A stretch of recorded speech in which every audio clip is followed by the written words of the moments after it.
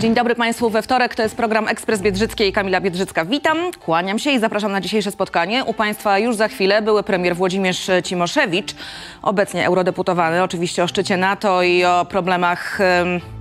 polskiego rządu z Unią Europejską. Przede wszystkim rozmawiać będziemy i o tym samym z panią doktor Renatą Mieńkowską-Norkienę z Uniwersytetu Warszawskiego, która państwa gościem będzie po godzinie 9.45. Tu na pewno poruszymy e, sprawę migrantów i referendum, które, no właśnie, będzie w sprawie, której nie ma, czy będzie w sprawie, która istnieje, bo Unia chce nas oszukać, jak twierdzi rząd. To są tematy, którymi zajmiemy się przede wszystkim, ale oczywiście zaczynamy od e, aktualności od tego, że rozpoczyna się szczyt NATO w Wilnie. Według zapowiedzi ma on być historyczny i to z kilku powodów. Wczoraj wieczorem e, prezydent Turcji Recep Erdoğan wyraził zgodę na akcesję Szwecji do NATO właśnie, co było e, blokowane, jak Państwo doskonale wiedzą, przez kilka e, dobrych miesięcy ostatnio. Mm, tematem przewodnim rozmów oczywiście przywódców państw sojuszu będzie wojna w Ukrainie, w Ukrainie oraz oczywiście kwestie związane z przyszłością tego kraju, także w strukturach natowskich właśnie, a także wzmocnienie tak zwanej wschodniej flanki NATO. Przypomnę Państwu tylko jeszcze, albo też poinformuję, jeśli ktoś nie wie, że bezpieczeństwa uczestników, w tym prezydenta Andrzeja Dudy, e, pilnuje łącznie 12 tysięcy osób. Nie chcę być premierem, deklaruje w rozmowie z Super Expressem Jarosław Kaczyński. I mówi tak, tu cytat. Moja obecność w rządzie jest przejściowa. Po wyborach wierzę, że wygranych nie mam zamiaru kontynuować swojej pracy w rządzie, zadeklarował obecny wicepremier i dodał, że tutaj cytat, nie chce być premierem i w ogóle nie bierze tego pod uwagę. Pytany o kandydatów Prawa i Sprawiedliwości na prezydenta, e, bo przecież wybory już w 2025 roku, odparł, że nie ma w tej kwestii żadnych, nawet wstępnych decyzji decyzji. I sprawa ostatnia, związana oczywiście ze środowiskiem obozu władzy także. Limuzyna, drodzy Państwo, którą podróżował po Warszawie minister Michał Dworczyk, podszywała się pod pojazd uprzywilejowany. Wszystko po to, żeby polityk zdążył na obchody 159. E, miesięcznicy smoleńskiej. Służba Ochrony Państwa e, poinformowała e, dziennikarzy, e, że auto z dworczykiem w środku nie należało do służby, że służba w tym dniu no, nie ochraniała, nie kontrolowała tego przejazdu, a sam dworczyk przeprosił i zapewnił, że sprawa się nie powtórzy. To jest Ekspres Biedrzycki. Zapraszam.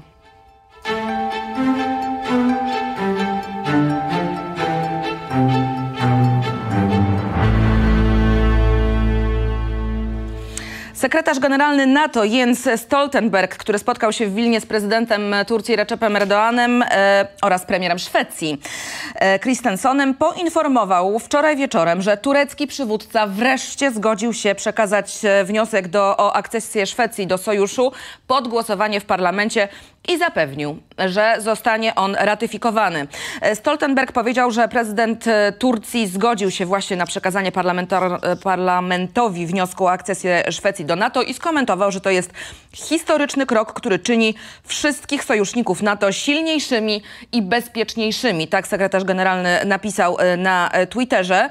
Wiemy, że według agencji Bloomberg przełom miał nastąpić po tym, jak Turcja otrzymała a jakże zapewnienie dotyczące kluczowych żądań, w tym podejścia Sztokholmu do zwolenników kurdyjskich separatystów działających na jej terytorium. Podobno także administracja amerykańska mm, obiecała Turcji e, dostarczenie e, samolotów. Z niecierpliwością czekam na to, by powitać premiera Kristersona i Szwecję jako 32 członka NATO. Powiedział e, po tym, gdy prezydent Erdoğan wyraził zgodę na akcesję tego kraju do sojuszu właśnie, ale oczywiście nie tylko rozszerzenie sojuszu będzie tematem tego rozpoczynającego się szczytu.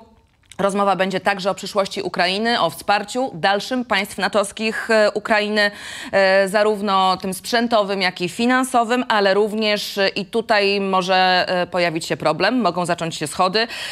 Ma być dyskusja na temat przyszłości Ukrainy w sojuszu. Prezydent Andrzej Duda stwierdził przed tym szczytem NATO w Wilnie, że ma nadzieję, że to będzie szczyt decyzyjny i że padną konkretne deklaracje w kontekście Ukrainy. E, Mówi e, prezydent Duda tak. Mamy nadzieję, że to będzie szczyt decyzyjny w wielu punktach. Na pewno będzie tam omawianych co najmniej kilka bardzo ważnych kwestii.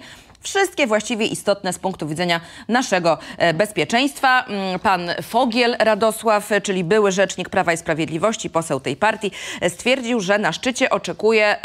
czy Prawo i Sprawiedliwość, jak rozumiem, oczekuje jasnej deklaracji, że zapadła polityczna decyzja o przyjęciu Ukrainy do sojuszu. Pytanie, czy da się to zrobić e, w momencie, kiedy e, Ukraina jest w stanie wojny? E, Jakie byłyby konsekwencje mm, takiej deklaracji i takiej decyzji na ten temat już za chwilę z panem premierem Cimoszewiczem porozmawiamy. Czy prezydent Ukrainy, a tym samym cała Ukraina, powinni przeprosić Polskę za zbrodnię wołyńską? W najnowszym sondażu dla Wirtualnej Polski więcej uczestników odpowiedziało, Pewnie Państwa nie zaskoczę, że tak. Zdecydowanych e, w tej opinii jest więcej w gronie wyborców Prawa i Sprawiedliwości niż opozycji. Ponad połowa uczestników sondażu, łącznie ponad 53%, zgodziła się ze stwierdzeniem, że Ukraina i jej prezydent Wołodymyr Zełenski powinni przeprosić Polskę za zbrodnię wołyńską.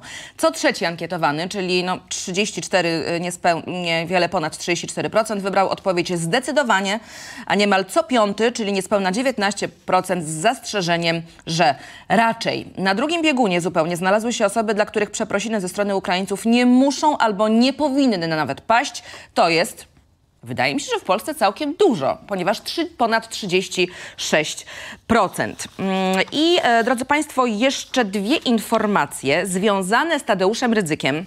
Ja wczoraj Państwu opowiadałam o e, tych jasnogórskich występach, zarówno Tadeusza Rydzyka, jak i przedstawicieli e, władz, o bardzo politycznym przemówieniu Jarosława Kaczyńskiego na ołtarzu e, jasnogórskim e, i o Tadeuszu Rydzyku, który mm, dość wprost mówił, że nie uprawia polityki. E, państwo oczywiście, jak sądzę, w tej sprawie mają swoją opinię już wyrobioną, ale e, Marian Banaś nie zawodzi, bowiem Najwyższa Izba Kontroli otrzyma zawiadomienie w sprawie podarunku dla e, dyrektora Radia Maryja, który, przypomnę Państwu, z rąk ministra aktywów państwowych Jacka Sasina i prezesa grupy Enea Pawła Majewskiego otrzymał prezent.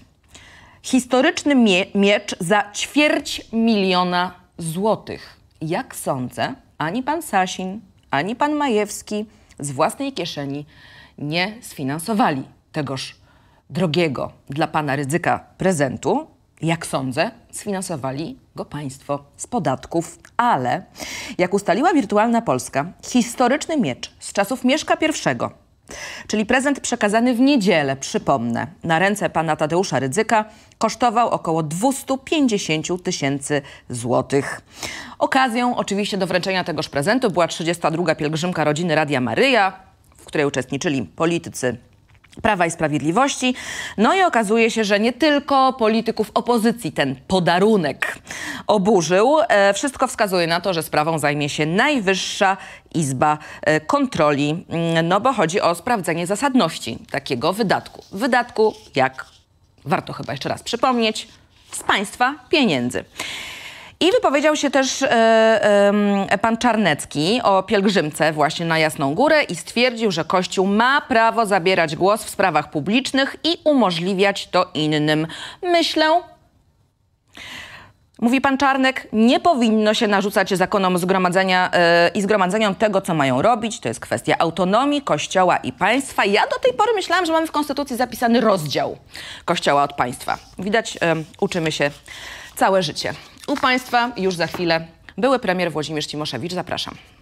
Wiadomo, że to zagrożenie jest w tej chwili przez NATO zdefiniowane jasno i wyraźnie jako zagrożenie rosyjskie, więc gdyby doszło do takiego zagrożenia, każde państwo natowskie ma zadanie wskazać konkretne jednostki, które wtedy będą relokowane. W sumie ma to być 300 tysięcy żołnierzy, którzy zasilą e, wschodnią flankę w przypadku, gdyby doszło do ataku. E, To też będzie dyskutowane tutaj na, właśnie na szczycie w Wilnie i i, i to także będzie z całą pewnością przedmiot e, naszych obrad.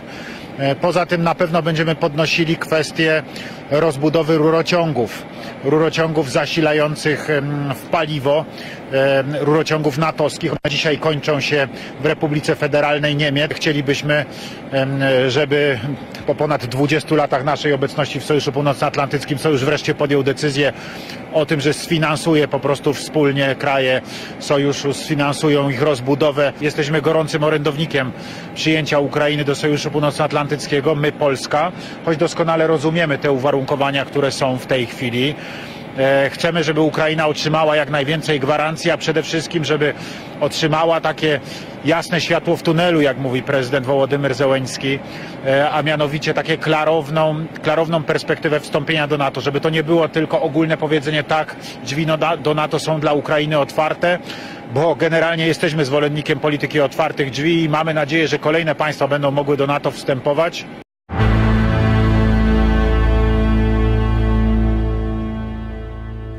Państwa gościem, gościem Ekspresu Biedrzyckiej Włodzimierz Cimoszewicz, były premier, były minister spraw zagranicznych, obecnie eurodeputowany. Kłaniam się panie premierze, dzień dobry. Dzień dobry, witam. Panie premierze, czy e, mówienie o rozpoczynającym się dziś szczycie NATO, e, że jest to, że będzie to szczyt historyczny, to są nasze pobożne życzenia, czy rzeczywiście jest szansa na to, że jakiś przełom istotny dla członków sojuszu albo kandydujących na członków do sojuszu nastąpi? No, niewątpliwie jest to spotkanie ważniejsze od e, wielu wcześniejszych, e, ale czy można używać określenia typu przełom, e, to zobaczymy. To, co najprawdopodobniej jest faktem, to to, o czym pani już wspominała, że prezydent Turcji Erdogan wyraził zgodę na przystąpienie, na przyjęcie Szwecji do sojuszu. W tej chwili parlament turecki musi wyrazić zgodę na ratyfikowanie umowy w tej sprawie. No, mam nadzieję, że e, Erdogan e, nie manipuluje, że nie gra tutaj e, w taki sposób, że sam wyraża zgodę, ale potem demokratycznie parlament nie wyrazi zgody. Więc myślę, że ta sprawa może być traktowana jako przesądzona. Natomiast gdy chodzi o ten drugi niezwykle ważny problem, czyli relacje NATO-Ukraina, perspektywy członkostwa, no, niestety, opierając się e, o, na ostatnich doniesieniach, między innymi mediów amerykańskich, w niedzielę prezydent Biden udzielił wywiadu CNN Faridowi Zakari. Mam wątpliwości co do e, tego, jak daleko będą posunięte deklaracje natowskie. Wiele wskazuje na to, że niewystarczająco daleko. I nie mówię tutaj, nie mam na myśli tutaj członkostwa. Ona jest w trakcie wojny oczywiście niemożliwe. Natomiast e, mam na myśli to, że e, ma na przykład zapaść decyzja o utworzeniu Rady NATO-Ukraina. Prezydent Załęski wybiera się na inauguracyjne posiedzenie, ale przypomnę, że istniała taka Rada NATO-Rosja. Więc e, e, powiedziałbym, że to nie jest jakiś szczególny sukces, nie jest szczególne osiągnięcie, jeżeli stanie się to tylko w tej, ostanie się tylko ta formuła. E, Pewne deklaracje dotyczące tego, że po zakończeniu e, konfliktu wojennego e, państwa członkowskie zrobią wszystko, aby Ukraina mogła szybko przystąpić do NATO, byłyby właściwe, ale osobiście obawiam się, że nie padną. Ale mnie się wydaje, że tego typu, oczywiście nie wprost, ale deklaracje padały, że oczywiście, że otwieramy e, drogę do NATO, że bardzo chętnie e, Ukrainę w NATO przywitamy, ale rozumiem, że w tej chwili oczekiwane są przez niektórych takie bardzo jasne, spisane niemal deklaracje w tej sprawie, ale co, łącznie z terminem, z, ze ścieżką dojścia albo właśnie z właściwie takim skróceniem tej e, procedury dojścia do, do, do, do sojuszu, no bo wiemy, że Ukraina na coś takiego liczy, ale rozumiem, że raczej się nie doczeka na tym szczycie. Oczywiście o żadnych terminach w sensie daty mowy być nie może. Może być stwierdzenie, i to byłoby zrozumiałe, że po zakończeniu wojny z Rosją, po ustaniu działań wojennych, e, wniosek Ukrainy będzie rozważony możliwie szybko, jak najszybciej. E, Ja bym oczekiwał tego typu deklaracji. Obawiam się, że i one nie padną. Dlaczego? To, że, to, że Ukraina nie może być przyjęta w czasie e, wojny, w, te, w e, okresie trwającej wojny jest e, oczywiste. Artykuł 5 Traktatu Waszyngtońskiego, w oparciu o który NATO e, istnieje i działa, natychmiast by zobowiązał państwa, pozostałe państwa członkowskie do zaangażowania się w wojnę i doszłoby do konfliktu NATO-Rosja, e, czego wszyscy chcemy uniknąć oczywiście. Po drugie, e, e, jeżeli chodzi o te deklaracje dotyczące e, bardzo szybkiego przystąpienia, ostatnio pojawiła się taka jakby pogłoska. Początkowo miało to format, charakter informacji, że Biden chce zrezygnować z takiego etapu procedury przyjmowania państwa do NATO, jakim jest ogłoszenie i realizowanie tak zwanego planu, członkowskiego planu działania, Membership Action Plan. E, To by rzeczywiście oznaczało skrócenie o jeden etap e, procedury, ale e, później pojawiły się rozmaite wątpliwości w komentarzach. Ja nie jestem w stanie w tej chwili odpowiedzieć, czy to będzie potwierdzone przez Stany Zjednoczone, czy nie. Więc e, mam, mam wrażenie, że e, to się może skończyć co najwyżej na rzeczywiście takiej formule przypominającej, co też się wskazuje, formułę gwarancji amerykańskich dla Izraela. To nie tyle są gwarancje bezpieczeństwa, co gwarancje pomocy w razie zagrożenia. Czyli gwarancje, zobowiązanie państw członkowskich NATO, że będą kontynuowały udzielanie Ukrainie pomocy zarówno w postaci dozbrajania tego kraju, jak i szkolenia em, armii ukraińskiej po to, żeby dzisiaj mogła skutecznie walczyć z Rosjanami, a w przyszłości e, mogła działać zapobiegawczo, aby nie doszło do kolejnej fazy takiej wojny. Panie premierze, a dlaczego pana zdaniem e, nie padną żadne istotne, wiążące deklaracje w sprawie e, przystąpienia do NATO Ukrainy? Bo to, że nie może przystąpić teraz jest, cytując klasyka, oczywistą oczywistością. Artykuł 5 niesie ze sobą daleko idące konsekwencje. Ale dlaczego właśnie nie spodziewa się pan jakichś takich deklaracji e, no, bardzo realnych, bardziej przynajmniej realnych i bardziej konkretnych niż do tej pory? Co jest e, jak, jakimś czynnikiem hamulcowym e, tego całego procesu? Wie pani, e, no, NATO to jest bardzo duża organizacja, terytorialnie rozciąga się na, na wielkim obszarze. No ale kiedy była tworzona, e, stąd między innymi nazwa, to jest Sojusz Północnoatlantycki, miała ona obejmować kraje mieszczące się, położone w, no powiedziałbym, dość szeroko rozumianym obszarze północnego Atlantyku. Ukraina z tym obszarem nie ma wiele wspólnego oczywiście, więc chociażby z tego punktu widzenia rzecz jest nieco dyskusyjna. Z punktu widzenia bezpieczeństwa europejskiego przyszła przynależność Ukrainy do NATO wydaje się być e, oczywiście dobra. E, Ukraina by mogła wzmocnić NATO, będzie dysponowała niedługo jedną z najbardziej doświadczonych armii, dobrze wyposażonych armii e, na europejskim e, e, kontynencie. No ale w, wśród sojuszników e, panują różne opinie. No, proszę się nie dziwić, e, czy nie, nie, nie być zaskoczoną, zaskoczonym, że e, e, kraje położone na zachodzie Europy mają nieco inną perspektywę bezpieczeństwa niż kraje środkowej czy wschodniej e, Europy. E, więc nie wiadomo jeszcze, jak się będzie rozwijał konflikt ukraińsko-rosyjski. Ja obawiam się takiej sytuacji, że ktoś po cichu, chociaż tego się publicznie nie przyznaje, nie bardzo wierzy w możliwość zwycięstwa Ukrainy polegającego na całkowitym wyrzuceniu Rosjan z terytorium tego państwa. I prawdopodobnie kiełkuje takie przekonanie, że ostatecznie Ukraina też będzie wyczerpana, zwłaszcza gdy chodzi o straty ludzkie i będzie zmuszona do przystąpienia do jakichś rozmów, w trakcie których e, być może pewne cesje terytori- terytorialne okażą się nieuchronne. I wtedy członkostwo w NATO może być e, takim cukierkiem na osłodę tej sytuacji. To są moje osobiste przypuszczenia. One nie są oparte w tej chwili na żadnych e, znanych mi faktach, ale sam staram się tak e, interpretować czy zrozumieć, e, dlaczego tak, a nie inaczej posuwa się ta sprawa.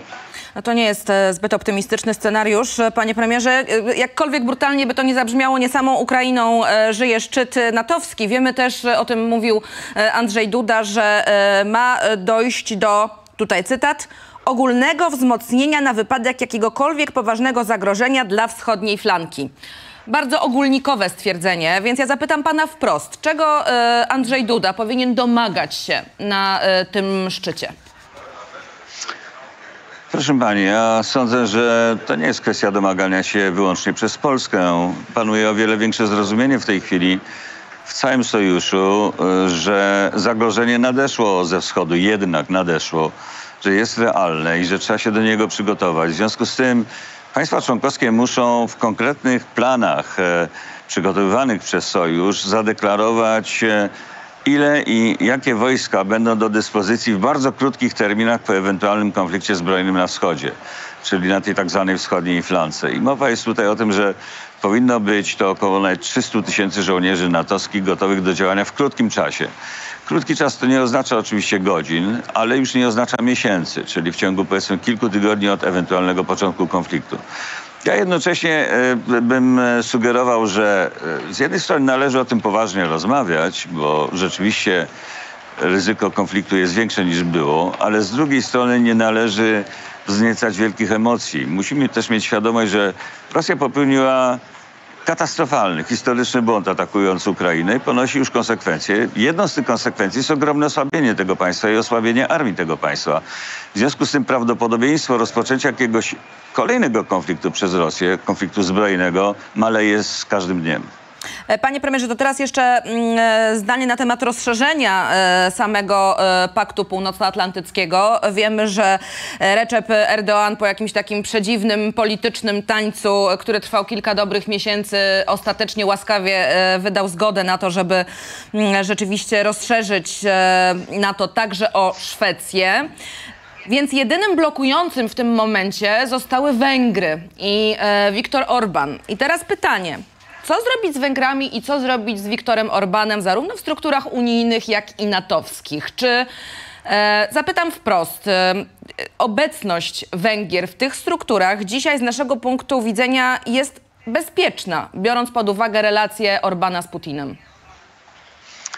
Już odpowiadam, ale jeszcze, jeszcze tylko słowo o Erdoganie. To nie był przedziwny taniec. On miał wybory prezydenckie. Tak, ja wiem. Po raz pierwszy od, od bardzo dawna był zagrożony poważnie Mhm. I, i już parę miesięcy temu było wiadomo, że jeżeli zgodzi się na przyjęcie Szwecji, to zrobi to po wyborach. No i tak się stało. Parę tygodni temu wygrał i, i zgodził się. Natomiast gdy chodzi o Węgry, to jest rzeczywiście państwo, które zachowuje się bardzo destrukcyjnie. Gdy chodzi o Ukrainę, o agresję Rosji, o politykę Rosji, już w tej chwili zupełnie osamotnione w, e, i w Unii Europejskiej, i w Sojuszu No nie Północnoatlantyckim. no, po, polski Niestety- rząd bardzo mocno jednak wspiera jeszcze e, mm, Węgrów, panie premierze. No, osam... ale ja pod, podkreśliłem, gdy chodzi o wojnę na Ukrainie, Aha, gdy chodzi o politykę sensie. Rosji. W innych kwestiach, tak, rzeczywiście to Węgry i Polska niestety są tymi hamulcowymi, e, którzy sprawiają narastające kłopoty w Unii Europejskiej. Ale to jest oddzielna kwestia. Trudno jest coś e, Orbanowi i Węgrom zrobić, bo na przykład e, nie można ich usunąć. No, z Unii Europejskiej nie można usunąć kraju członkowskiego, nie ma takiej podstawy prawnej, ale można stosować e, w sposób konsekwentny i twardy e, te procedury dyscyplinujące e, w odpowiedzi na naruszanie chociażby rządów prawa czy standardów demokratycznych i to w stosunku do Węgier robi się. To się robi. Konsekwentnie stosowany ten tak zwany mechanizm warunkowości finansowej. Węgry nie dostają pieniędzy z Unii Europejskiej. No zobaczymy, jak długo e, e, wytrzymają e, bez tego. Problem polega na tym, że ten rodzaj populizmu politycznego przy odpowiedniej też inżynierii polegającej na manipulowaniu środkami przekazu, e, głosowaniami, wyborami, referendami i tak okazuje się być e, skuteczny i, i on e, ma jednak bardzo duże poparcie w swoim kraju. No i teraz jeszcze, panie premierze, skoro pan już trochę poruszył ten wątek, mm, sprawa dotycząca Unii Europejskiej i właściwie tego, w jaki sposób polski rząd układa sobie stosunki z poszczególnymi partnerami w Unii Europejskiej. Odbyła się, e, jak pan pewnie zauważył, 32. pielgrzymka rodziny Radia Maryja. Tam na e, ołtarzu jasnogórskim Jarosław Kaczyński zabrał e, głos bardzo politycznie i bardzo wyborczo. Co do tego chyba nikt nie ma wątpliwości. Mówił po raz kolejny o tym, że nie możemy dać sobie odebrać suwerenności, że na tą suwerenność ktoś czyha, ale po raz pierwszy padły takie bardzo mocne słowa dotyczącego, że ktoś chce zniszczyć, zniszczyć polski naród. Jak rozumiem, w domyśle chodzi o e, raczej e, tę stronę zachodnią, a nie wschodnią. E, Później wychodzi pan Rydzyk, e, mówi o tym, że Unia Europejska jest niemiecka, że nie możemy dać się sprzedać za euro i tak dalej, i tak dalej. Czy to zwiastuje zaostrzenie kursu, pana zdaniem, jeszcze większe przez obecny rząd wobec e, struktur unijnych, czy, jest, to, czy to jest tylko na użytek kampanijny? No na pewno jest to na użytek kampanii, kampanijny. Co będzie po wyborach, e, to dopiero zobaczymy. Jeżeli PiS zostanie odsunięty od władzy, to na tym się skończy. Jeżeli pozostanie u władzy, to być może nadal będzie brnął e, w tym kierunku. E, Osobiście uważam to, co się wydarzyło w Częstochowie za skandal polityczny. Uroczystość o charakterze religijnym nie powinna być przy wystarczającym poziomie kultury politycznej wykorzystywana dla takich celów. E, Padło z ust pana Kaczyńskiego bardzo wiele sformułowań niemądrych. To są brednie, to są kłamstwa. E, Ale powiem szczerze, że kiedy słyszałem o tym, że ktoś się chce zniszczyć polski naród, to pomyślałem sobie, że to jest zdumiewająca samokrytyka, dlatego że osobą i środowiskiem, które niszczy polski naród dzisiaj, naród w sensie politycznym, takim jak w naszej konstytucji, wspólnota obywatelska, ten naród niszczy PiS i niszczy Kaczyński. Od ośmiu co najmniej lat konsekwentnie e, dzieli polski naród, polskie społeczeństwo. Tak nienawistnych, tak emocjonalnych, tak głębokich podziałów nie było od bardzo dawna. Ja nie potrafiłbym wskazać takiego momentu we współczesnej historii, kiedy byliśmy tak podzieleni. Czyli to jest jego zasługa. No, Ale oczywiście e, tutaj w domyśle chodzi o, e, o, o Zachód, a ściśle o Niemcy. Rzecznik prasowy rządu mówi o tym, że Niemcy chcą pozbawić nas naszej suwerenności. Bez względu na to, kto to jest. Jeżeli mówi to rzecznik prasowy, to na ogół wyraża stanowisko rządu. To jest jakaś kolosalna brednia. Te- Ci ludzie posuwają się już e, do takich zachowań i takich deklaracji, które niszczą nasze relacje z naszymi najważniejszymi sojusznikami. E, No właśnie, prawdopodobnie odbudowywanie tych relacji będzie trwało bardzo długo, ale e, sprawa jest e, jeszcze szersza tak naprawdę, jeżeli chodzi o te relacje z Unią Europejską, dlatego że przedstawiciele e, władz w tej chwili podają w wątpliwość prawdomówność pani komisarz e, europejskiej, między innymi do spraw migracji, która wyraźnie Johansson, powiedziała, tak, że my jako państwo e, Europy mm, Środkowo-Wschodniej, państwo, które przyjmuje wielu uchodźców e, z Ukrainy, będzie zwolnione z mechanizmu tej w cudzysłowie przymusowej e, relokacji uchodźców. I właściwie dała słowo w wywiadzie nie jednym i nie dwóch. Na co politycy Prawa i Sprawiedliwości mówią, ale no, to, no, no i co? Przecież może mówić nieprawdę i w związku z tym organizuje, e, czy chce zorganizować referendum w tej kwestii.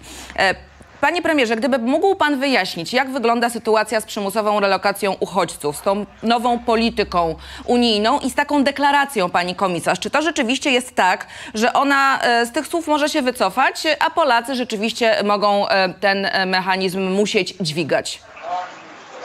Proszę pani, rzecz jeszcze nie jest zakończona. E, swoje stanowisko e, kilka tygodni temu zajął Parlament Europejski, e, a niedawno Rada na poziomie ministrów e, chyba spraw wewnętrznych e, ze sprzeciwem Polski i Węgier.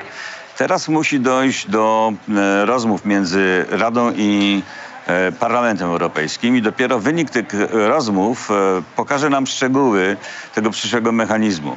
E, Odpowiadając na Pani pytanie na gruncie tego, co w tej chwili jest, to rzeczywiście wygląda w ten sposób, że jeżeli jakieś państwo e, stoi wobec e, no, faktu e, ogromnego ruchu migracyjnego, uchodźczego na jego terytorium, to może wystąpić, zwrócić się o to, żeby nie obciążano tego, tego państwa kolejnymi e, uchodźcami, kolejnymi migrantami w ramach tego mechanizmu relokacji. A więc e, to jest prawda, co mówi pani Ilva e, Johansson. E, Tyle, że polski rząd musiałby, tak jak każdy kraj w tej sytuacji, zwrócić się o to. W moim przekonaniu w tej chwili w Europie, w świecie no, jest tak, że e, wszyscy odnoszą się z ogromnym szacunkiem do zachowania Polaków, którzy przyjęli tak nie, niezwykle wielką grupę uchodźców ukraińskich i nikomu by nawet do głowy nie przyszło, żeby jeszcze dosyłać nam kolejnych migrantów. Nie mówiąc już o tym, że wedle takich wstępnych, e, czysto teoretycznych rozważań e, miałoby ewentualnie do Polski trafić 2000 e, tych migrantów, którzy trafiają do, do Europy. Przypomnę, że w okresie rządów pisowskich trafiło ponad 130 tysięcy migrantów z odległych regionów świata, Afryki i Azji.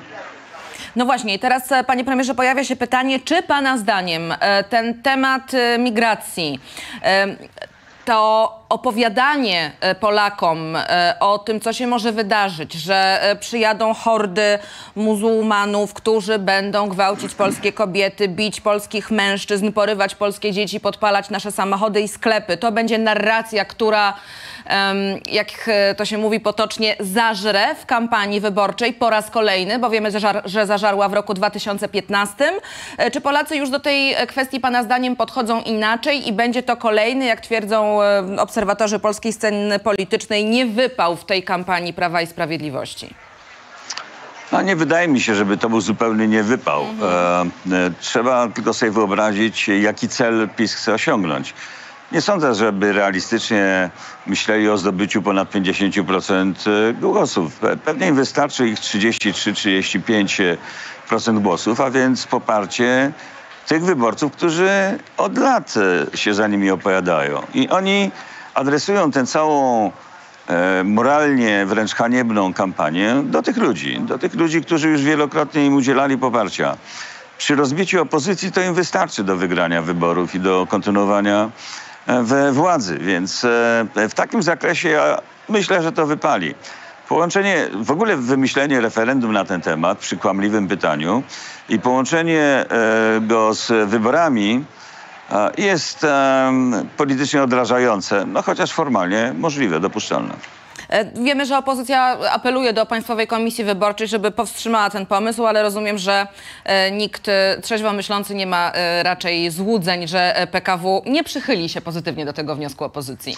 No ja nie sądzę, że PKW to będzie blokowało, chociaż mówiąc szczerze, nie śledziłem wszystkich detali bardzo uważnie. Jestem czym innym zajęty, ale no, jeszcze Senat musi zająć stanowisko. Zobaczymy, jaki czas po decyzji Senatu, powrocie sprawy do Sejmu, podpisaniu przez pana Dudę, pozostanie do 15 października. Czy to będzie e, wystarczający okres przewidziany w, e, w tej ustawie?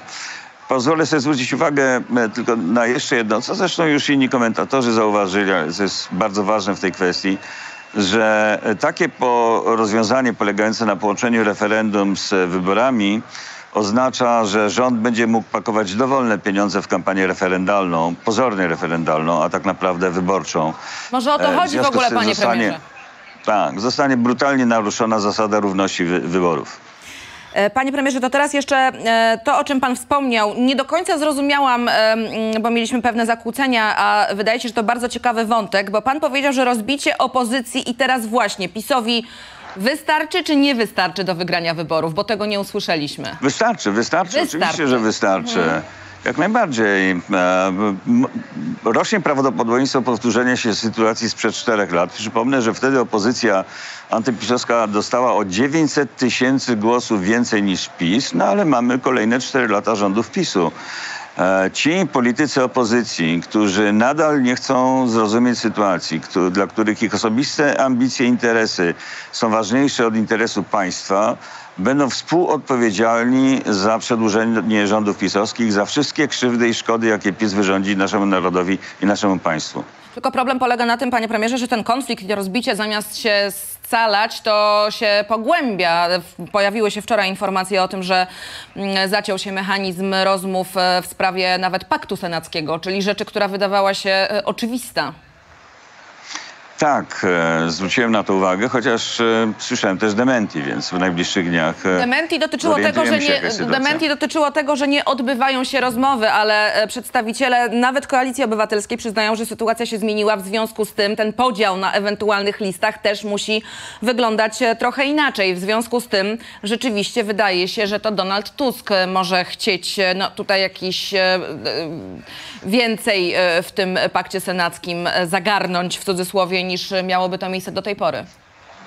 Jeżeli jest to coś więcej niż tylko e, próba dyscyplinowania tych koalicjantów, to byłby to poważny błąd. E, Umów trzeba dotrzymywać. Jeżeli zawarto porozumienie, to należy, go, należy je respektować. Dlaczego Pana zdaniem dzieje się tak e, po stronie opozycyjnej? Czy to jest rzeczywiście tylko ambicja liderów partyjnych, tych większych i mniejszych ugrupowań? O to wszystko się rozbija?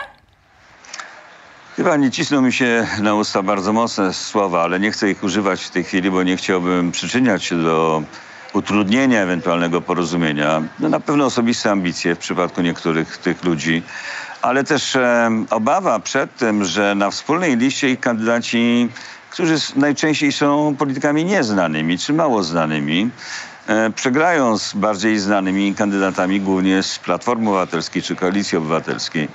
E, Takie ryzyko obiektywnie istnieje e, i w tej sytuacji, w takich okolicznościach potrzebne byłyby jednak rozmowy, w trakcie których być może ten najsilniejszy z- mógłby z jednej strony pójść na pewne koncesje wyborcze, albo także powyborcze, a więc wtedy, kiedy w przypadku zwycięstwa zjednoczonej opozycji tworzyłaby ona rząd.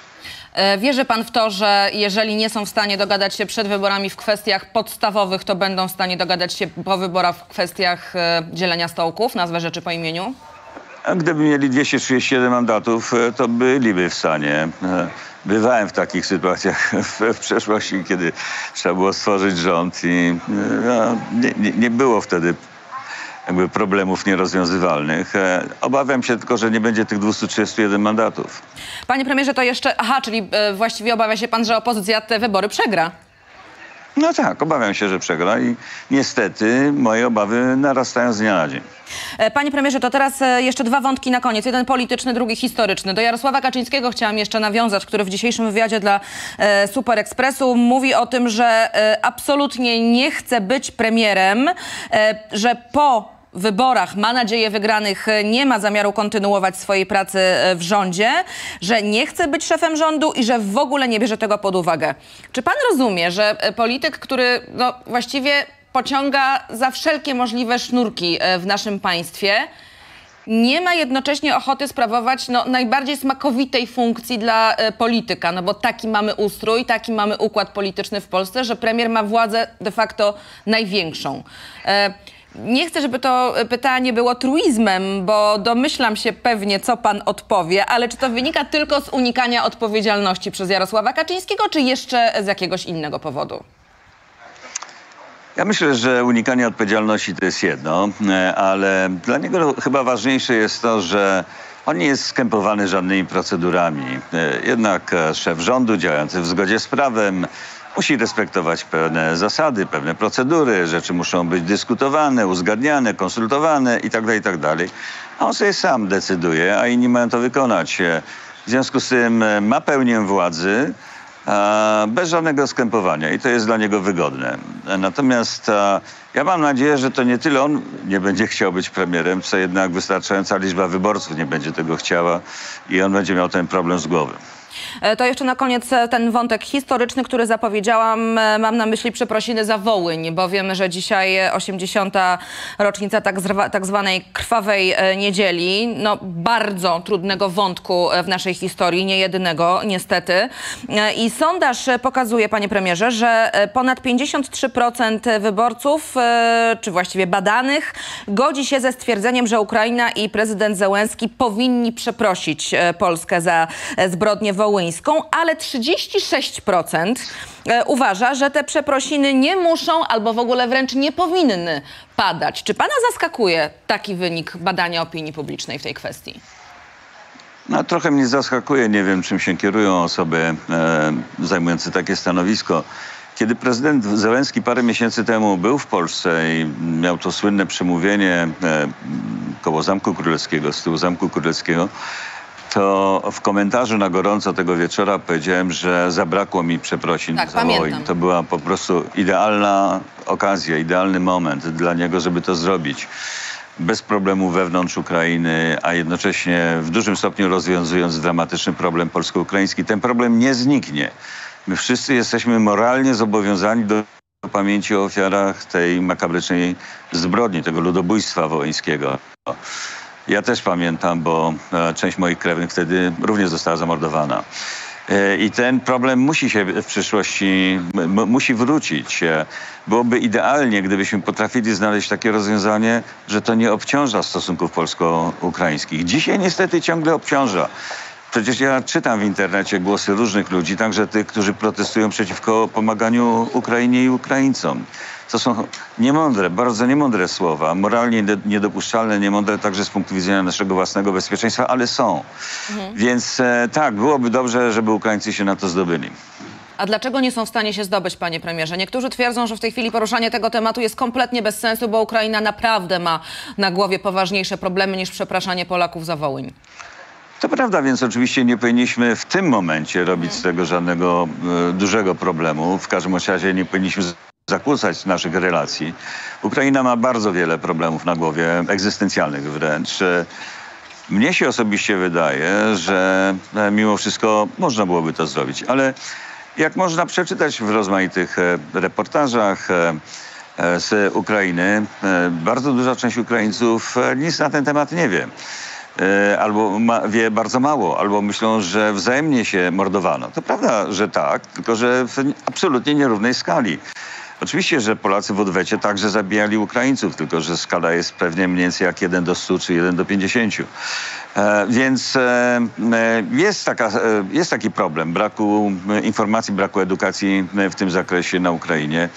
I to też w przyszłości powinno być rozwiązane. To jeszcze jeden e, wątek a propos tego, co pan mówi o braku wiedzy właściwie w tej kwestii, dlatego że dr Anton Drobowicz, czyli prezes Ukraińskiego Instytutu Pamięci Narodowej, mówi, że 9 na 10 ukraińskich żołnierzy nie zna historii Stepana Bandery. Nic o nim nie czytali, nie wiedzą, jak wyglądało jego życie. Kojarzą oczywiście Banderę z UPA, ale żadnej głębszej wiedzy na jego temat nie posiadają. Czy to jest możliwe? Ależ oczywiście, że to jest możliwe, proszę pani. No, e, można byłoby wskazać podobne przykłady także w naszym kraju. W każdym społeczeństwie dominują ludzie, którzy niewiele wiedzą niestety. No, bardzo smutna konstatacja, e, ale jak sądzę e, prawdziwa. Panie premierze, bardzo dziękuję e, za wizytę. Wszystkiego dobrego i bardzo. dużo zdrowia jak zwykle. Włodzimierz Cimoszewicz, były premier, były minister spraw zagranicznych, eurodeputowany. Państwa gościem. Do zobaczenia. Do widzenia.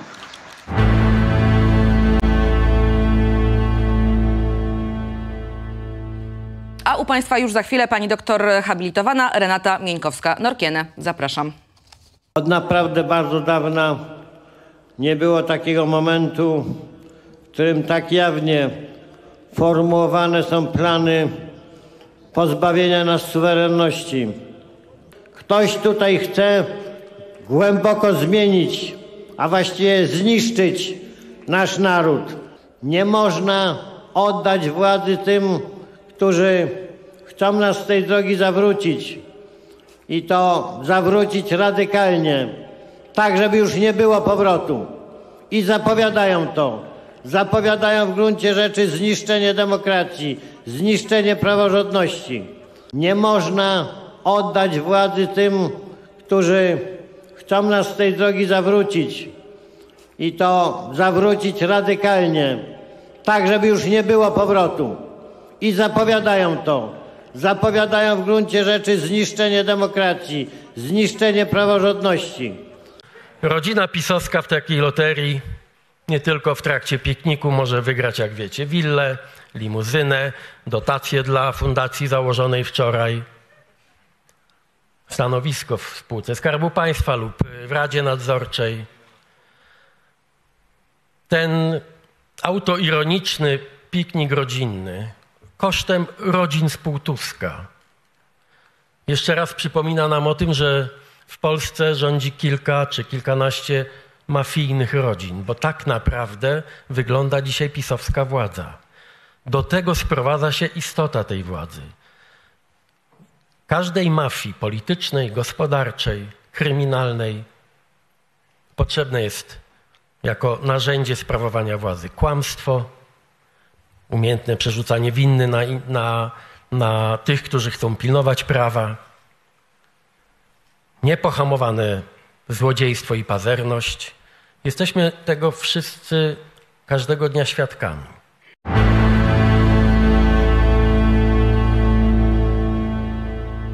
Pani doktor habilitowana Renata Mieńkowska-Norkiene, Uniwersytet Warszawski, Team Europe. Dzień dobry.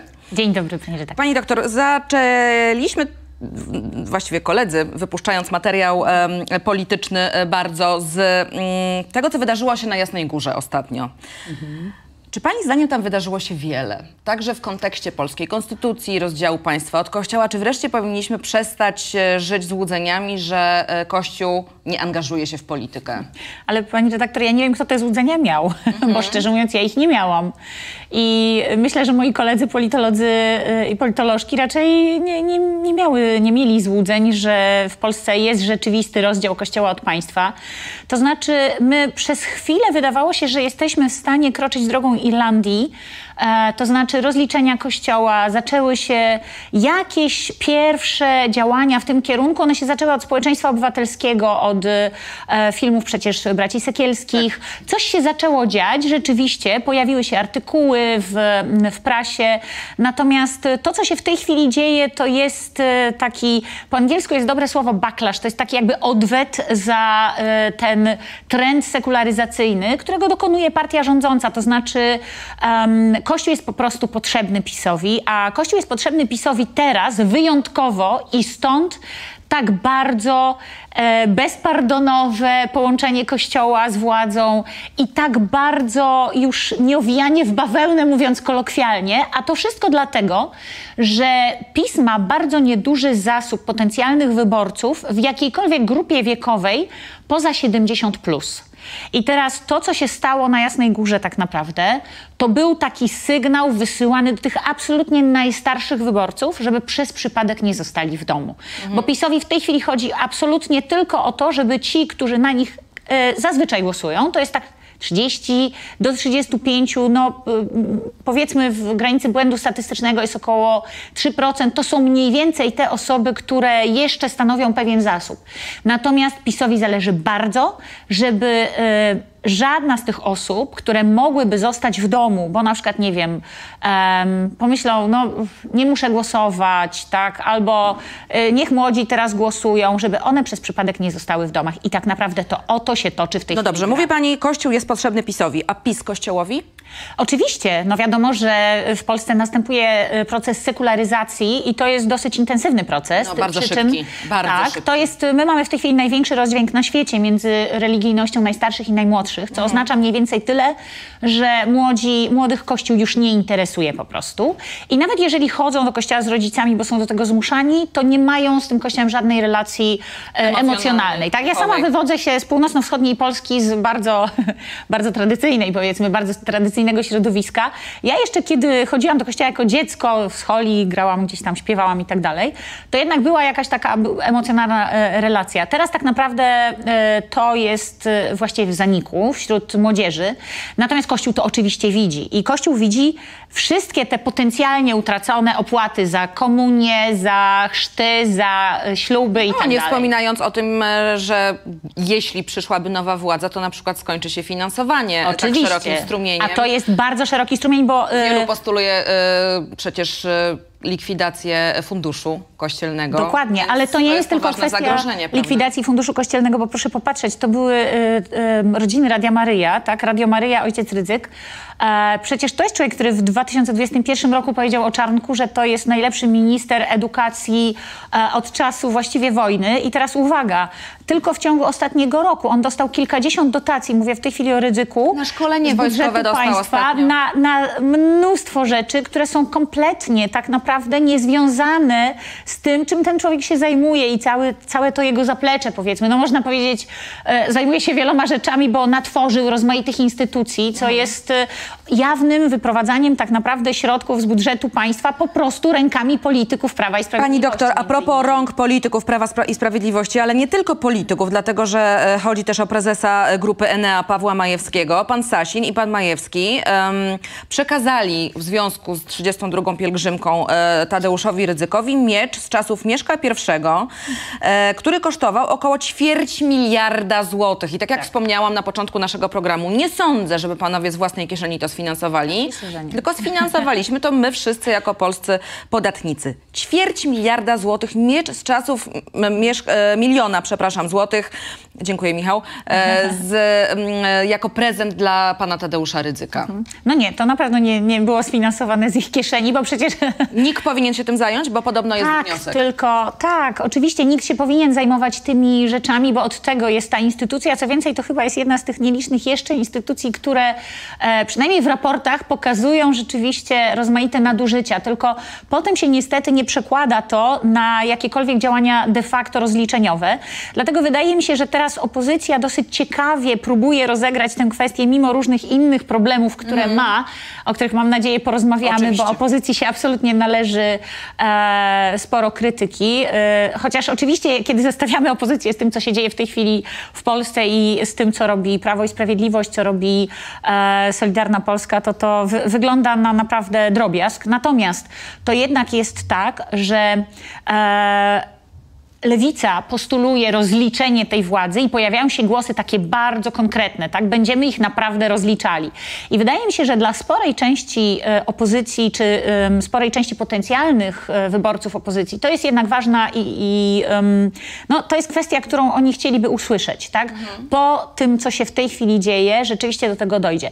Natomiast pani redaktor, ja nawiążę do tej, e, tego, co się dzieje na Jasnej Górze też w kontekście tego, do czego nawiązałyśmy tak trochę pośrednio, czyli tej religijności młodych i starszych.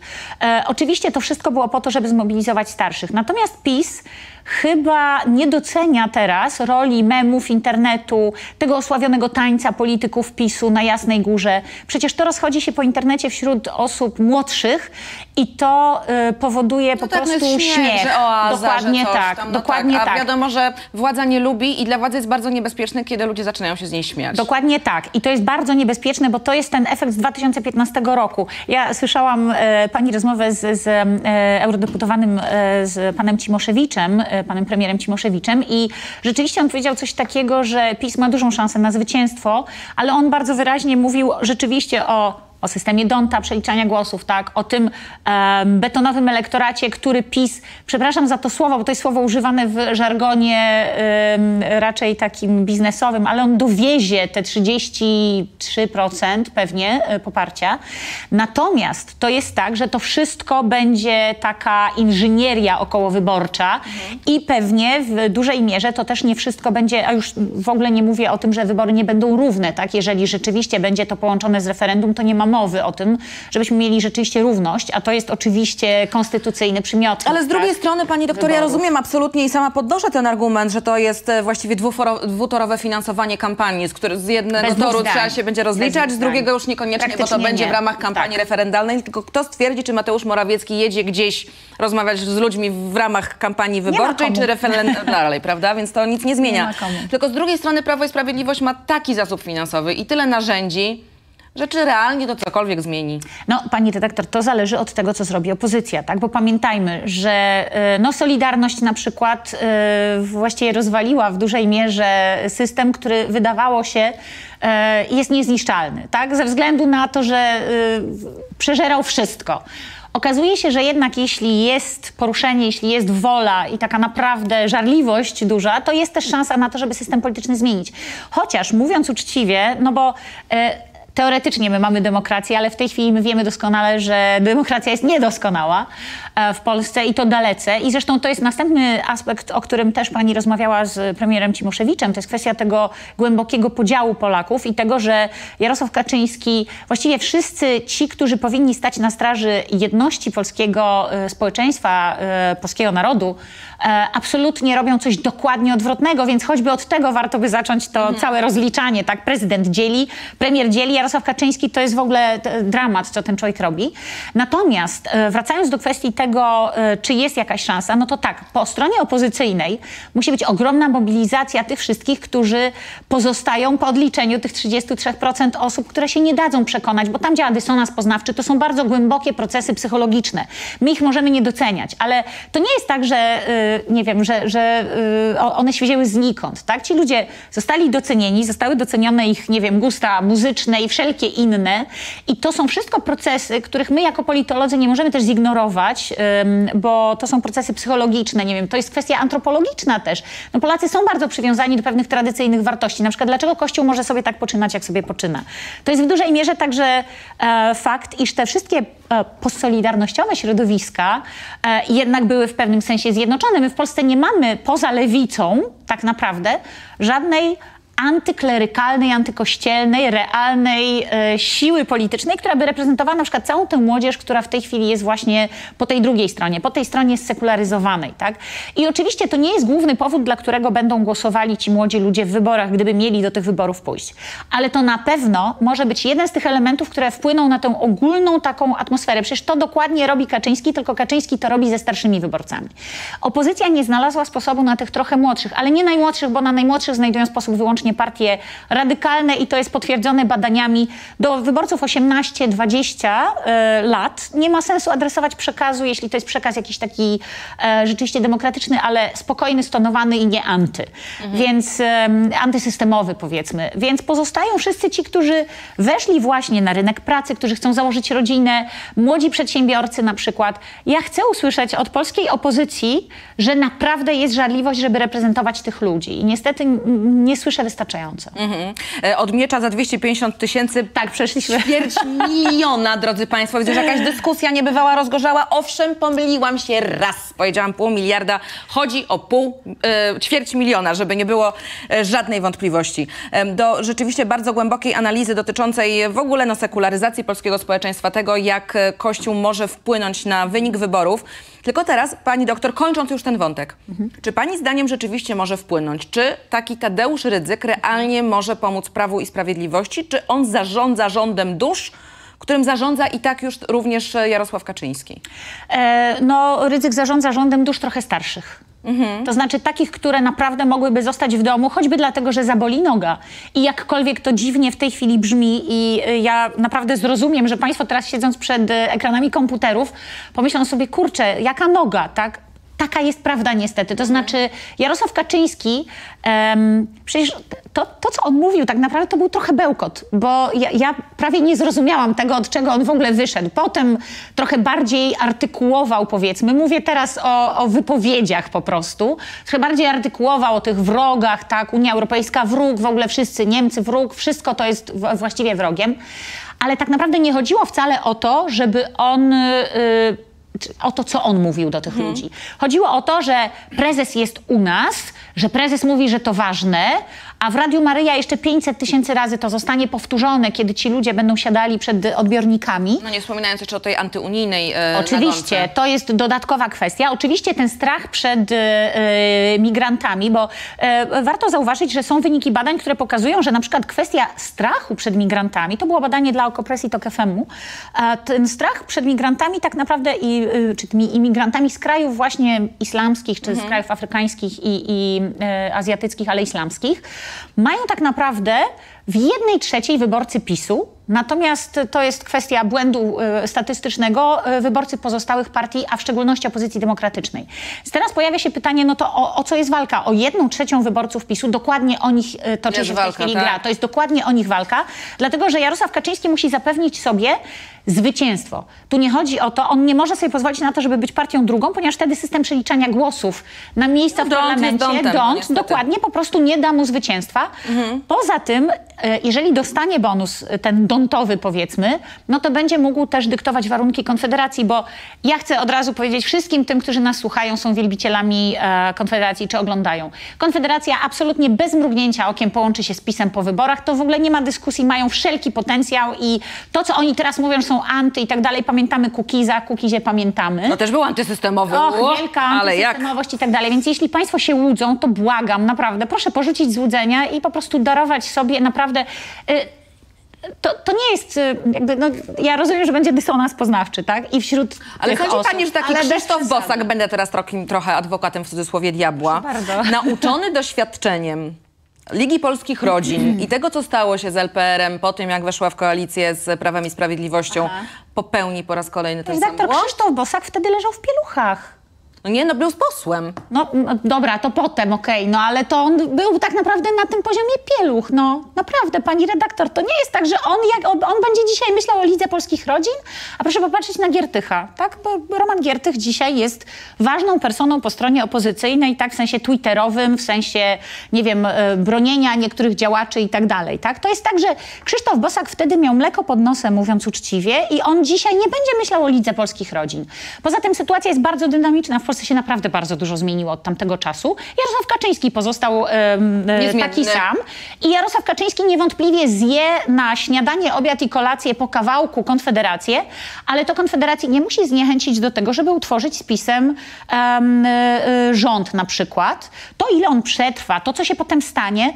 Pani redaktor, w partii politycznej to mówi Mencen, to mówi Bosak, a poza tym Bosak w tej chwili nie jest główną osobą, powiedzmy, która, którą widzą potencjalni wyborcy Konfederacji, tak? Tylko to jest też Mencen oczywiście, który zresztą też chodzi i się em, w mediach rozmaitych lansuje. Ja naprawdę e, rozumiem, że jest potrzeba postulatów na przykład gospodarczych, które, o których mówi Konfederacja, bo na przykład pozostałe partie opozycji, e, w tym przypadku opozycji w pełni demokratycznej, one e, z jakiegoś powodu te ugrupowania nie mają wyrazistego przekazu Znaczy, ja mam wrażenie, pani e, doktor, że Konfederacja robi oczywiście na mniejszą skalę to, Mhm. co PiS zrobiło w roku 2015, czyli znalazło niszę, e, niezagospodarowaną część wyborców, e, która chce Tak, uczepić się kogoś, kto się Oczywiście. nimi zaopiekuje. No tak, tylko... Demokratyczna opozycja nie wyciągnęła tego wniosku. nie wyciągnęła tego wniosku. Poza tym e, Konfederacja adresuje swój przekaz do bardzo konkretnych grup wyborców. To są młodzi przedsiębiorcy, to są też przede wszystkim młodzi mężczyźni, którzy są e, z rozmaitych powodów e, sfrustrowani albo rozczarowani po prostu tym, jak wygląda polskie życie polityczne w tej chwili. Zresztą no, nie są jedyni, ale oni mają w pewien sposób inklinację głosowania na Konfederację, ponieważ nie widzą dla siebie oferty wśród innych partii politycznych opozycji demokratycznej. I teraz to jest problem oczywiście tych partii, ale to jest też problem tych wyborców, którzy tak bardzo u, uczepili się tej Że myśli. zapominają o że- antyeuropejskości, że antykobiecości i Konfederacja tak jest, że to elementach. nie jest naprawdę, e, to nie są e, ludzie, którzy dojdą do władzy i zaczną realizować postulaty gospodarcze, bo przecież świat już poszedł tak bardzo do przodu, że nie mają szansy. Nie dlatego, że oni będą jedynie współrządzić z Prawem i Sprawiedliwością, a Prawo i Sprawiedliwość będzie musiało spłacić dług wobec Kościoła katolickiego, który ciągle zaciąga, co widzimy i od Mhm. tego wyszłyśmy dzisiaj, zaczynając naszą rozmowę. Więc szczerze mówiąc, to jest... dziwne, to jest ułuda i jeżeli Państwo tutaj przed ekranami głosują, zamierzają głosować na Konfederację, proszę się zastanowić naprawdę e, wiele razy, zanim Państwo podejmą tę decyzję, ponieważ to naprawdę nie będzie tak wyglądało, jak to dzisiaj wygląda. Mówię to z pełną odpowiedzialnością politolożki i e, po rozmaitych badaniach, które opierają się nie tylko na tym, co się stało w Polsce, bo pani, pani redaktor nawiązała do Ligi Polskich Rodzin, ale przecież Węgry, przecież e, Turcja, tak, ale jest wiele innych krajów, gdzie były różne egzotyczne koalicje, nie wiem, Austria. Austria to jest dobry przykład kraju, który był krajem naprawdę e, niczego mu nie brakowało w żadnym sensie, tak? Nagle się okazało, że jest taka potrzeba trochę takiej konfederacji, tak? Młodych i tak dalej. I co się okazuje? No, y, mają zarzuty korupcyjne. E, to są ludzie, którzy naprawdę sprowadzili y, austriacki system polityczny na złą drogę. No, na szczęście tam działają dobrze te instytucje, które w Polsce już dobrze nie działają, tak? Właśnie w rodzaju e, trybunałów i, i, i sądów choćby. Chociaż sądy w Polsce, no ja nie, nie krytykuję sądów, ale mówię o tych, które zostały upolitycznione po prostu systemowo. E, e, Pani e, doktor, to teraz jeszcze o słowach Jarosława Kaczyńskiego, które na tej Jasnej Górze już wspomnianej przez nas dzisiaj e, padły, e, w kontekście tego, że ktoś chce nam zabrać suwerenność, pozbawić jej jak nigdy wcześniej. To właściwie zdarta płyta, już nie raz i nie dwa słyszeliśmy to od Jarosława Kaczyńskiego, ale poszedł dwa kroki dalej, mam wrażenie, i powiedział, że ktoś chce zniszczyć nasz naród. Tak, no pewnie chodziło mu o Niemcy, dlatego że... y, Później uzupełnił to pan Rydzyk, więc No dokładnie. o niemieckiej Unii Europejskiej. Tak, dlatego że z badań z września 2022 roku wynika, że 40% Polaków za um, mniej więcej podobne zagrożenie uważa Niemców jak i Rosjan. To było już pół roku po wybuchu wojny. E, Dla mnie to były szokujące Szok, wyniki, szok, bo mimo prawda. wszystko, mimo tego już ja naprawdę bardzo wiele widziałam e, w swoim naukowym życiu wyników rozmaitych badań, ale to był rzeczywiście szok. Więc widać, że ta narracja antyniemiecka działa. Poza tym to jest zawsze podlewane tym sosem, no tutaj Niemcy z opóźnieniem wysłali jakiś sprzęt do Ukrainy, a tutaj e, Scholz jeszcze zastanawia. Nie, no teraz- bo d- polityka Niemców wobec Ukrainy była żenująca na Okej, początku i też musimy pełna być zgoda, uczciwi. Pełna zgoda, ja to rozumiem, tylko Mhm, to tak, tak, też tak. daje dodatkowe paliwo, tak? tak? To, że można krytykować Niemców, ja absolutnie nie mam nic przeciwko temu, tak? Sama im za, ich za wiele rzeczy krytykuję, ale to jest tylko jedna strona medalu. Druga strona medalu jest taka, że z Niemcami mamy bardzo dużą współpracę gospodarczą i to jest nasz największy partner. Największą. Dokładnie. Eksport z Polski to jest największy dokładnie do nasz Niemiec. największy partner w tej chwili gospodarczy i biznesowy i ja tego też nie potrafię zrozumieć, dlaczego na przykład te same osoby, które e, rozumieją, że ich być albo nie być na przykład gospodarczo zależy od Niemiec, dlaczego te same osoby mogą popierać PiS? No mam nadzieję, że to nie są te same osoby, na to wyników badań jeszcze nie mamy. Natomiast e, rzeczywiście jakby wracając do tych Niemiec, to jest niestety tak, że Unia Europejska, że Polacy są bardzo prounijni i tutaj to się nie zmieni, ale PiS wyławia Niemcy czy Niemców z tego całego, z tej całej Unii Europejskiej, tak, ustawia ich na pozycji tych, którzy rozdają karty w Unii Europejskiej. Ja pragnę tylko też znowu naszych e, widzów poinformować, że Niemcy to nie są ci, którzy rozdają karty. Mają bardzo oczywiście dużą liczbę ludności, w związku z czym mają też odpowiednio dużo głosów w Radzie i tak dalej, ale ich pozycja dramatycznie spadła w Unii Europejskiej, naprawdę. Macron ma też swoje problemy i prawda jest taka, że gdybyśmy my mieli w tej chwili inny rząd, to po pierwsze mielibyśmy zupełnie inny wpływ na to, co się dzieje w Unii Europejskiej i naprawdę moglibyśmy skorzystać z tego okna możliwości, które jakkolwiek źle to nie brzmi, Wykorzystać sytuację w Ukrainie. dokładnie po tym, co się stało w Ukrainie. Gdyby przy polskim wspaniałym społeczeństwie, które y, tak niesamowicie podeszło do kwestii właśnie e, wsparcia dla Ukrainy, gdybyśmy mieli rząd, który byłby odpowiedzialny i który potrafiłby to przekuć na sukces w Unii Europejskiej i też na poziomie NATO, bo my dzisiaj się wszyscy oczywiście zastanawiamy, co się stanie na szczycie NATO, tak, w, w Wilnie, na szczycie NATO. E, Prawda jest taka niestety, że my jako Polacy mamy na to do, do, dosyć nieduży wpływ. To znaczy my jesteśmy najbliżej Rosji, co jest oczywiste, i Ukrainy, więc no, będzie lo- rozlokowanie żołnierzy i tak dalej. Nobilituje nas położenie geopolityczne. Nasze tak to położenie, można nazwać. dokładnie, e, geograficzne bardziej Geograficzne nawet, chociaż geopolityczne tak. w pewnym sensie tak, ale chodzi przede wszystkim o położenie geograficzne, no i o to, że tak to wygląda, jak, jak wygląda w sensie też e, liczby uchodźców z Ukrainy Mhm. i tak dalej. Natomiast no i to, że jesteśmy co do zasady antyrosyjscy, to jest też e, e, oczywiste i to też ma znaczenie. Natomiast, dla, no, ale to jest powód, dla którego, dla którego NATO nie lokuje na Węgrzech, tak, Tak. czy y, swoich jakichś tam baz czy żołnierzy, ale my moglibyśmy tak dużo więcej, gdyby nie to, że ten narząd w tej chwili właśnie jest skłócony z partnerami. My lawirujemy, jeśli chodzi o Stany Zjednoczone. My nie jesteśmy poważnym partnerem do rozmów dla Stanów Zjednoczonych, poza naszą sytuacją geograficzną, tak jak Dlaczego nie powiedziałam. jesteśmy partnerem dla Stanów poważnie? Pani redaktor, dlatego, że y, od samego początku polski rząd przecież, y, jeśli chodzi o prezydenturę Bidena, tak, no był taki, powiedziałabym, miał niejasne y, podejście do tego, czy Biden wygrał, czy nie wygrał, jakieś gratulacje, nie gratulacje. To są wszystko istotne rzeczy, to jest dyplomacja. Później oczywiście to było, czy miał nastąpić y, pewien reset, no bo wiadomo, co się stało, tak? Natomiast gdybyśmy my, jako poważny rząd, poważny kraj, kraj, który ręka w rękę ze swoim społeczeństwem wspiera Ukraińców i rzeczywiście robi absolutnie wszystko, żeby ze Stanami Zjednoczonymi wzmocnić tę współpracę, ale jednocześnie będąc tutaj na poziomie europejskim i u- uczciwy wobec pozostałych partnerów europejskich, to my moglibyśmy stworzyć y, współpracę euroatlantycką, która byłaby rzeczywiście e, oparta na tym naszym paradygmacie, czyli paradygmacie ewidentnego zagrożenia ze strony rosyjskiej. Tymczasem teraz, przecież my e, ręka w rękę działaliśmy z Węgrami, teraz Węgry to jest tak naprawdę kraj, który nam rozwala całą em, strategię e, działania wobec e, Rosji tak, i takiego naprawdę poważnego e, obłożenia sankcjami Rosji. Przecież dlaczego te sankcje były wprowadzane z pewnymi opóźnieniami. A popatrzmy, sankcje zaczynają działać. W tej chwili one zaczynają działać, tak? To jest odpowiednio późno, ale gdyby one były wprowadzane wcześniej, między innymi ze względu na Węgry, to nie jest tylko tak, że ociągały się Niemcy.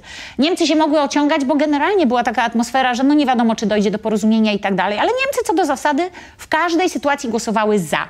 Natomiast Węgrzy przeciągali, kombinowali. No, to, zresztą to samo jest w tej chwili, jeżeli chodzi o rozszerzenie e, sojuszu. prawda? Dokładnie E, tak. z- Oczywiście no my możemy powiedzieć, że i Stany Zjednoczone i. Niemcy też niekoniecznie chcą na przykład teraz zaprosić w oczywisty sposób Ukrainę. tak, mogą tego zrobić nawet, nie tak. mogą tego zrobić, ale z drugiej strony mamy Stany Zjednoczone, które mają bardzo konkretną ofertę. Mhm. tak? Co my w tej sytuacji robimy? E, no my się zastanawiamy, mówimy, że no my chcielibyśmy, Domagamy się tak. deklaracji, Czyli ale Domagamy się jeszcze nie- deklaracji, ale tak. to nie od nas zależy. No, niestety, e, w żadnym, e, może nie najmniejszym, ale w niewielkim stopniu Nie, oczywiście, może, no, tak. ja też nie chcę tak bardzo umniejszać tej roli e, po- Polski w sensie e, geopolitycznym, natomiast pani redaktor, no, to ja sobie wyobrażam naprawdę, że z innymi politykami e, demokratycznymi naprawdę bylibyśmy partnerem wiarygodnym. Więc cokolwiek my powiemy, to jutro się nie odwróci tylko dlatego, że w Polsce są wybory. Tak? Nie chcę być premierem. Nie mam zamiaru kontynuować swojej pracy w rządzie po, mam nadzieję, wygranych wyborach. Nie chcę być premierem i w ogóle nie biorę tego pod uwagę, mówi w wywiadzie dla Super Expressu Jarosław Kaczyński. Dlaczego on tak bardzo nie chce być premierem? Nie wiem, może teraz już po prostu siedzi obok premiera Morawieckiego, umościł się w tym Nie, ale mówi, że w ogóle po, po wyborach odejdzie z rządu. Bo co? Bo odpowiedzialność, bo ograniczenia, o tym mówił e, premier Cimoszewicz. Znaczy tak, mnie to w ogóle trochę śmieszy, bo to, że Jarosław Kaczyński mówi, ja nie będę premierem po wyborach, tak? A Teraz to już nie chce. Tak, a teraz siedzi e, na fotelu obok premiera Morawieckiego, co wygląda komicznie, bo z mojej perspektywy oczywiście politologicznej, to jest, ja sobie patrzę na tych dwóch ludzi, którzy, e, którzy rządzą Polską, z których tylko jeden tak naprawdę powinien, powinien sprawować swoją funkcję, a ten drugi tak naprawdę, no, e, łechce swoje ego i y, wkurza oczywiście wielu, y, wi- wielu innych tym samym, no ale też pokazuje się, co jest też oczywiście pewnym e, e, pogłaskaniem po głowach wszystkich tych, którzy na przykład Morawieckiego, a są wyborcami PiSu, ale za Morawieckim nie przepadają, tak? Natomiast widzą tutaj też pana Kaczyńskiego, więc wiadomo, że on trzyma to wszystko w ryzach, bo wiadomo, że są, jest też Ale pozbawił złudzeń tutaj która również tak- pan Kaczyński, przepraszam, że wchodzę w słowa pana Morawieckiego, ponieważ został zapytany prezes o to, czy e, są już jacyś kandydaci na prezydenta i czy ewentualnie Mateusz Morawiecki, na co e, padła odpowiedź, że pan Morawiecki się dobrze em, sprawuje w jako- swojej oczywiście. funkcji, a w sprawie kandydatur na prezydenta żadne decyzje nie zapadły, więc właściwie chyba No jest tak, to ale- odpowiedź dość konkretna. Ale to, że Jarosław Kaczyński e, przełomowo wyraża się w ten sposób, że on nie będzie premierem. Nie, no serio. Ja nie traktuję poważnie tego, co on mówi, niezależnie od tego, co mówi, dlatego że po pierwsze, to się jutro może zmienić. Po drugie, to, że on mówi, że nie będzie premierem, no e, nie był dotychczas premierem, tak? A i tak wiemy, jaki ma W wpływ na polską kadencji, politykę. znaczy tej w ogóle 2005-2007. No tak, ale nie teraz, tak? Po 2015 roku miał wyłącznie kogoś innego i y, tymi innymi rękami realizował swoją wolę i to jeszcze miał takich ludzi jak chociażby y, premier Morawiecki, którzy są absolutnie bezwolni, no bo nawet muszą mu ustąpić miejsca przy stole tak y, y, ministerialnym, więc szczerze mówiąc, znaczy przy, przy Pani doktor, spotkania to teraz jeszcze na koniec ciężar e, przenosimy na stronę opozycyjną. Mhm. Nie wiem, czy pani słyszała, ale zacięła się maszyna negocjująca podobno pakt, senacki. senacki. Robert Biedroń tutaj wczoraj u mnie powiedział, że w ogóle te rozmowy zostały zerwane, zawieszone, że gdzieś tam się nie odbywają. Później było dementi e, ze strony właściwie wszystkich ugrupowań uczestniczących w tych rozmowach, ale Mhm. wszyscy przyznają, no, że coś tam przestało działać, że zmienił się układ sił, e, więc wszyscy sugerują, że to Donald Tusk e, powiedział hola hola, dla nas trzeba więcej, bo jesteśmy najsilniejsi, a wy, którzy mieliście mieć tyle samo, tracicie, więc to będzie niesprawiedliwe. Jak pani ocenia całe to zamieszanie? Znaczy tak, zacznijmy od tego, że pakt senacki em, z różnych powodów y, jest połączony jednak z tymi dyskusjami, które dotyczą y, zjednoczenia opozycji w wyborach też do Sejmu. Chociaż to są dwie zupełnie inne bajki, w sensie oczywiście sposobu y, głosowania, Sejm jest priorytetem, tak, nie ma się systemu. co oszukiwać. Dokładnie, natomiast y, no, ma teraz opozycja Senat i co? I nic. nie ma to dużego znaczenia, tak jak wiemy, bo wiadomo, że y, to y, poprawki senackie są przegłosowywane. Jedyne, co może Senat tak naprawdę zrobić, na co ma wpływ, to jest przedłużanie pewnych procedur i to jest wszystko. Natomiast y, jeśli chodzi o kwestię całości, oczywiście Donald Tusk ma też ludzi u siebie, którzy się zaczynają domagać rozmaitych em, no, krótko mówiąc, miejsc na listach wyborczych, tak, w, z, z pani, Platformy. wy- wy- to też jest prawda taka, że Senat nie dał się złamać. Tak. Przez tak długi czas, Tak. przez całą kadencję. W związku z tym Okej. ci, którzy nie dali się złamać i nie ulegli tej korupcji politycznej, mają prawo, jak sądzę, docenieni. tak po ludzku domagać Jasna się sprawa. Poza tym, szczerze mówiąc, jeśli ja, kolejnej kadencji. Tak, jeśli ja słyszę na przykład e, przede wszystkim Szy- Szymona Hołownię, tak, który wygaduje rozmaite rzeczy i szczerze mówiąc, ja nie jestem w stanie naprawdę zrozumieć, jak to jest możliwe, że człowiek, który wszedł do wyborów, e, czy wszedł w ogóle do polityki po to, żeby rzeczywiście e, odsunąć PiS od władzy, żeby rzeczywiście mieć wpływ na tę władzę. Dzisiaj widząc, co się dzieje, że jednak on stawia mimo wszystko to swoje ego i to swoje wyobrażenie i chyba też jego doradcy, ja tego też tak do końca nie rozumiem. Dlaczego? Przecież tam są e, trzeźwi na umyśle ludzie, mówiąc brzydko, kolokwialnie, ale mówię to właśnie po to, żeby podkreślić, że ja tego naprawdę nie rozumiem, jak e, ludzie ci nie mogą e, jakby doradzić Hołowni, żeby jednak no, nie zachowywał się w ten sposób. To znaczy Ale pani zdaniem Hołownia w tej chwili przybliża PiS do zwycięstwa? Absolutnie, absolutnie. To znaczy tam po stronie, e, oczywiście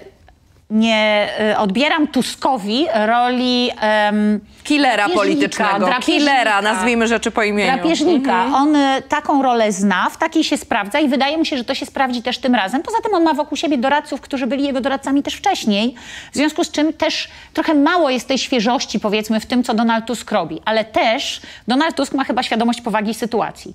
A Szymon Hołownia mam wrażenie, że absolutnie nie ma takiej świadomości. To znaczy on... Y, chyba nie rozumie tego, że kiedy PiS wygra, to, to jakby to on zniknie, tak? No, jedyne, co może zrobić, no to się przyłączyć ewentualnie do koalicji z PiSem, tak? Ale tego mu jego wyborcy nie, nie wybaczą w żaden sposób. Poza tym będzie to jego śmierć taka obywatelska, tak? Więc nie wyobrażam sobie tego. Natomiast zakładając, że on rzeczywiście chce, żeby opozycja wygrała wybory, to powinien natychmiast e, e, przystępować do negocjacji z Donaldem Tuskiem, przekonywać A go. może Tusk nie chce?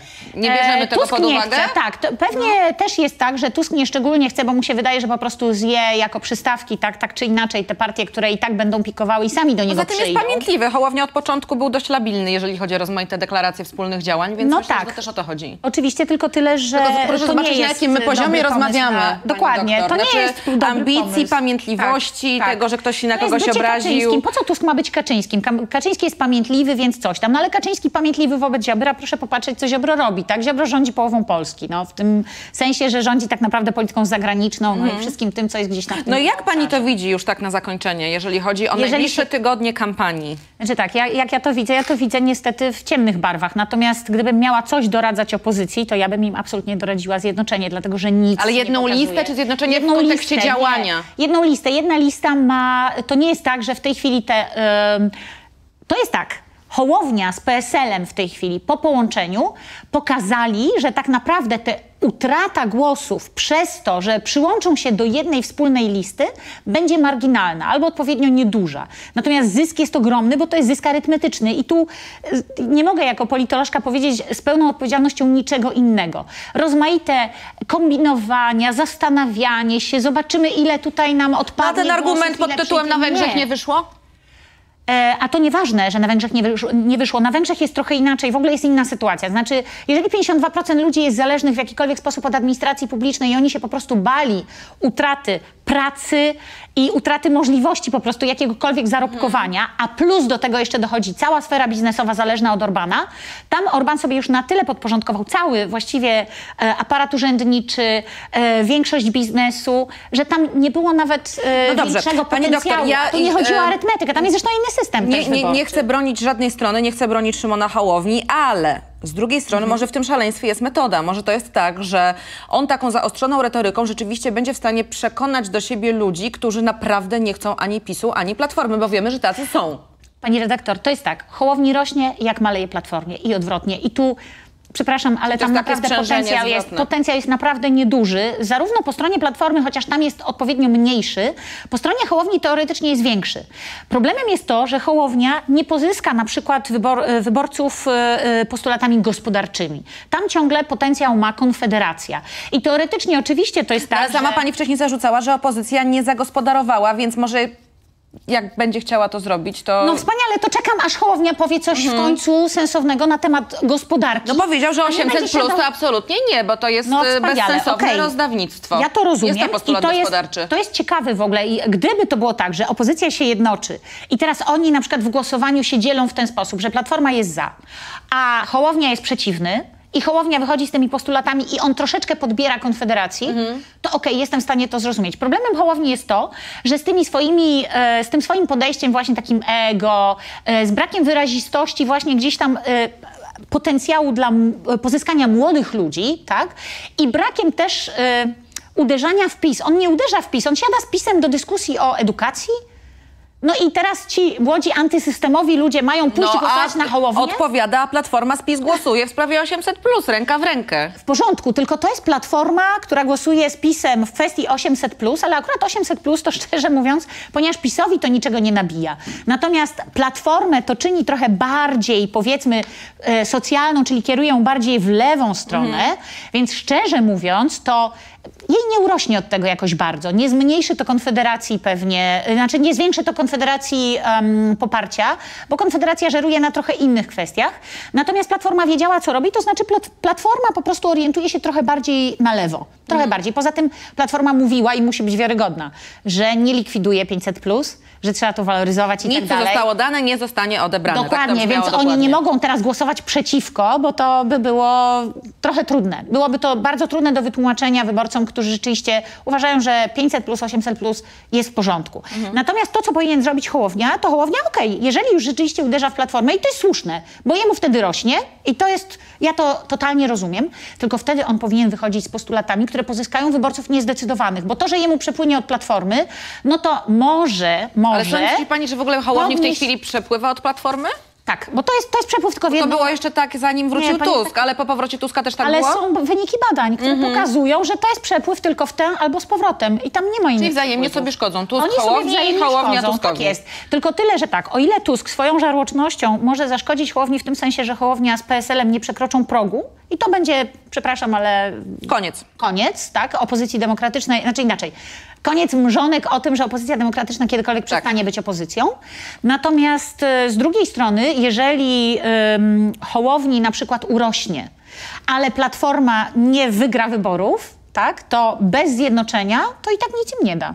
No bo nawet jak przekroczą progi, to musieliby naprawdę wszyscy uzyskać bardzo dobry wynik, każda z tych partii, czyli krótko mówiąc muszą pozyskać Mhm. Przy bardzo dobrych notowaniach Konfederacji. przy bardzo dobrych? Mhm. no, notowaniach Konfederacji, więc oni musieliby pozyskać niezdecydowanych, a nie mają na to pomysłu w tej chwili. Ja szczerze mówiąc mogę podpowiedzieć parę rzeczy. Na przykład jedna rzecz to jest sektor młodych, kreatywnych, którzy wchodzą e, na przykład w tej chwili na rynek właśnie zakładania rodzin i tak dalej. To są ludzie, którzy brzydzą się polityką. Ale oni muszą zrozumieć, że e, to, że oni się brzydzą polityką, to nie oznacza, że polityka ich nie dotknie. Więc im trzeba dać jakiś postulat, który oni wyłapią i pomyślą sobie, dobra, pójdziemy. Trochę aborcja była takim, e, takim postulatem, tylko ona się rozłazi strasznie, nie ma konsolidacji wokół tego tematu, bo też nie ma pomysłu na to, jak ten temat ugryźć. Tak? Wszyscy się tego tematu trochę boją. Więc e, pozostaje kwestia, nie wiem, e, gospodarczych może postulatów, co dać tym osobom, albo kwestia mieszkaniowa, tak? ale na, na, na, na, na mieszkania, czy w ogóle na rozwiązanie problemu też mieszkaniowego nie ma opozycja za bardzo pomysłu.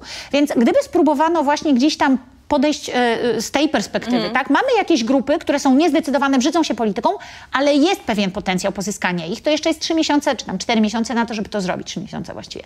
Więc e, to są też ludzie, którzy zbojkotują referendum na przykład, więc też się to referendum po prostu PiSowi nie uda, nawet jeżeli dowiozą powiedzmy tych swoich wyborców. Ale nic tam się z tym więcej nie stanie.